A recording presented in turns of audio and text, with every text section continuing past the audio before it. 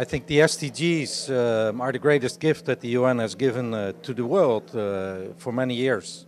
It gives us all a very clear framework on how we want to develop. And as you will have seen from the amount of business people that are out here today and have been out here uh, during the creation of the SDGs, uh, there's great support and an enormous opportunity to mobilize business around this agenda. Uh, business cannot succeed in a society that fails is the very simple bottom line of why we're here. Uh, society is failing at this very moment, whether it's climate, whether it's poverty, inequality, there's so many stress points out there.